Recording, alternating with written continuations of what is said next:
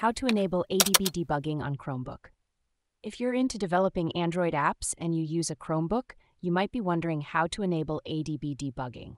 This feature is super useful for testing and debugging your apps directly on your Chromebook. First, make sure your Chromebook supports Android apps. Not all Chromebooks do, so this is a crucial step. Next, you need to have Linux set up on your Chromebook.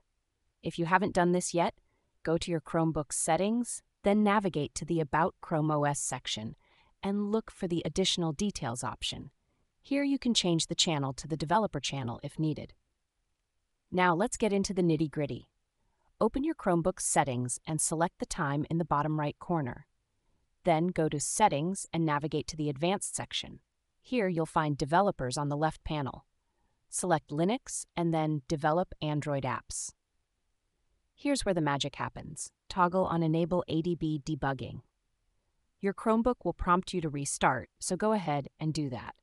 Once it restarts, you'll see a message about ADB debugging being enabled.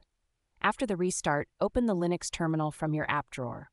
You'll need to install the ADB platform tools using the command sudo apt-get install Android tools ADB.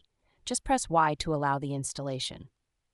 If you want to connect your Android device to your Chromebook for debugging, plug it in via USB and select Connect to Linux when prompted.